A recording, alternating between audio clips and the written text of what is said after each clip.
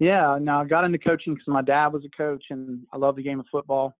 I saw the difference that my dad made in a lot of his players' lives, and um, and then I really enjoyed competing in the game of football. And I, I love chess, I love math, so I, I love the opportunity it affords me strategically to think through those things, but also more than anything, the reason I'm a football coach is because I love being on a team, and I love being on a team with young people where we can use the adversity that we see uh, every single week uh, as as a teaching tool, um, and we can talk about a lot of life lessons through the game of football.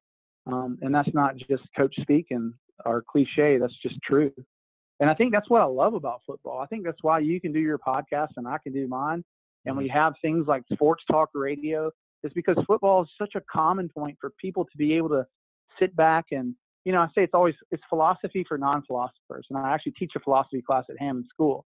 Um, and so people can extrapolate every life's meaning from a, a football game, you know, everyday life meaning from a football game, and we can meet on a common point about uh, big topics like morals and integrity and things like chemistry, and these are important like big subjects that the game of football gives us all like this platform to talk about.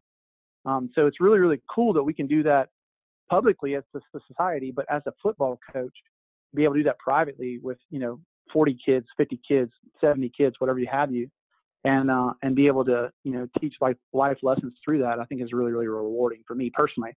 Um, so that's why I do it. And you know I've had a we've had a good run at Hammond, and we've had a great season this year. We're we're 12 and 0 and playing for wow. the state championship next Saturday. So wow. coming Saturday at Benedict, right right during the Gamecocks game. So I won't be able to watch it. I'll have to DVR it and uh, watch it the next day. So hopefully I'll be in a really good mood when I watch it. But